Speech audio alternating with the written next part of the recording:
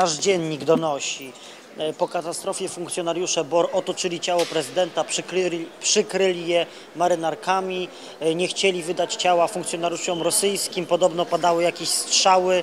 Mm, Słysząc taką relację, co pan myśli? Nie, myślę, że to, co Pan mówi na początku, jakby w pierwszych swoich y, słowach, że otoczyli być może po rozpoznaniu ciało prezydenta, przykryli to ciało, to jest normalne, to jest ludzki odruch, od tego oni są. Natomiast nie wierzę w to, żeby tam padały strzały. Ja jestem przekonany, że nawet jeśli doszło do jakiejś no, próby e, czy nawet e, scysji pomiędzy jednymi a drugimi służbami, to one zostały szybko wyjaśnione.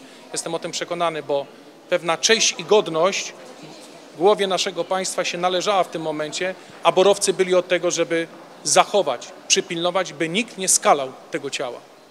Szef MSWiA mówi to kompletne bzdury, nie dochodziło do żadnej strzelaniny i że komuś widocznie zależy, żeby robić tutaj wokół tego jakiś hałas. Ja też tak przypuszczam, że na pewno tam strzałów nie było, ale taki moment, taka być może scysja niewielka, czy nawet nieporozumienie, być może miało miejsce, ale na szczęście się skończyło akurat prawidłowo tutaj. Sejmowa speckomisja nie powinna się tym zajmować. Ojej, Panie, panie redaktorze, litości. Kolejna sejmowa speckomisja w żadnym wypadku na tym etapie.